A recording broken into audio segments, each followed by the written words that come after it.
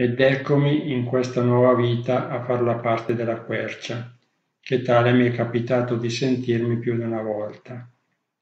Eccomi a dispensare ombra al viandante, a proteggere i nidi delle rondini, a regalare frutti alle ghiandaie, a donare legna al contadino. È bello dare, ma a volte ho la sensazione che un po' tutti sfruttino la quercia e finanche chi mi vuole bene e dice di amarmi spesso con troppa solerzia ha preso e preso, dando per scontato il dono. Sembrerebbe che tutto sia dovuto dalla quercia. Solo tu, guerriero, venisti sotto le mie fronde, venisti silenzioso e ramingo, o almeno così sembrasti a me, che non ne sapevo granché del mondo. E ti fermasti all'ombra dei miei rami, intento nei riti del guerriero ringraziasti l'erba sotto le tue ginocchia, ringraziasti il sole, l'aria, il cielo, ringraziasti il canto degli uccelli, ma soprattutto ringraziasti me. Sei tu, dicesti, o grande quercia, che oggi mi onori della tua ospitalità. Tu accogli sotto i tuoi rami caldi e protettivi questo guerriero stanco. Sei tu che ti innalzi possente tra la terra e il cielo che oggi sei premio alla mia vita, al mio essere qui. E lungi dal turbarmi le tue parole mi facevano tremare il cuore di emozione e gioia. O Dio, dicevo tra me e me, perché quando c'è quest'uomo, questo guerriero che calpesta con suoi piedi scalzi la terra, io finalmente mi sento amato? Perché con lui non ho quella sensazione di furto, di abuso, di non essere visto?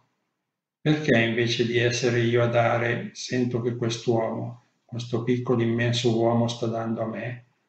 E non sapevo che mentre su questa terra sei un nobile guerriero, nel tuo mondo, cioè il mondo vero, tu sei anche giardiniere, perché nel mondo vero, quello da cui vieni tu, non c'è nulla di scontato, e non solo le querce, ma per fili fili d'erba hanno qualcuno che li conosce uno a uno, che li ama e li cura e ti ascoltavo e seguivo i tuoi riti, ti guardavo deporre la tua grande spada, stendere il tuo tappeto e sederti assiso in meditazione, il viso scarno, lo sguardo essenziale, l'abito comodo, come colui che deve muoversi con agilità e solerzia per fronteggiare le battaglie della vita.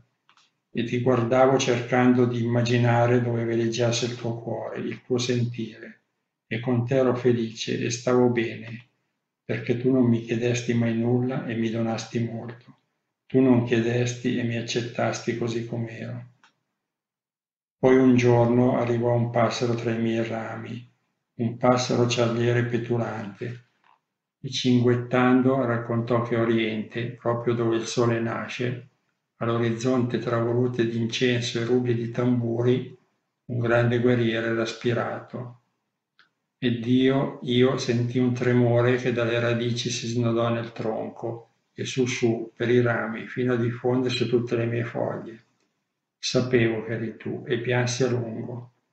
Eppure, ora che non abiti più questa terra, ti sento ogni giorno sotto le mie fronde e so che il nostro sodalizio va oltre i limiti dello spazio e del tempo ed è per sempre.